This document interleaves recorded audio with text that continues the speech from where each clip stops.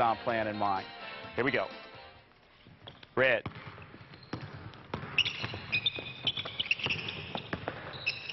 Good. That's nice. Go get it.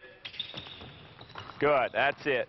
You can see our uh, uh, five-man is sealing this zone, and when the shot goes up, he's headed to the backside of the floor where that rebound's going to go and boxing out this forward on the other side, inside out. Again, we're planning. You know, you, you can't, you don't make every shot.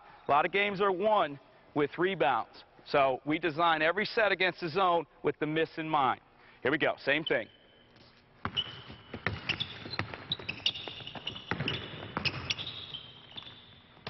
Good. Rebound.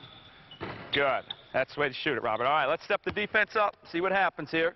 Again, we're showing everything with the 2-3 zone, 1-2-2, 1-3-1. You go ahead and adapt it, figure out who you need, you need to screen. Here we go. Red.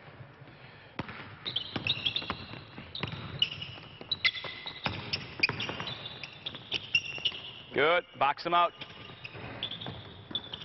That's good. That way, Craig. All right. And let's show, once they see that this is happening, Craig screen here, uh, Eric screen there. We got to this point where Clint turned out. Uh, Devin, you're right here. Fight it this time. Fight it. He reads it. He's going. This guy's slipping right into the middle of the zone. Lucius, stay over. Draw that top guy. Here we are. Where do we want to put the ball? Right in the middle of the zone. All right? We catch it here. He turns and faces. His partner goes right to the rim. Wings go to the corners. How are they going to cover it? All right, here we are. That, that's the situation we want if they start cheating out on that.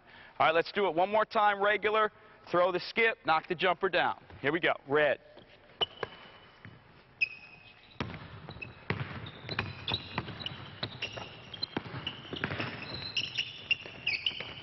Good. Box out. Good. Inside position. Play it in. All right, this time let's run it. Uh, Devin will fight over. You read it. Let's feed Craig in the middle of the zone. Find somebody open, either in the corners or find your partner at the rim. Here we go. Red.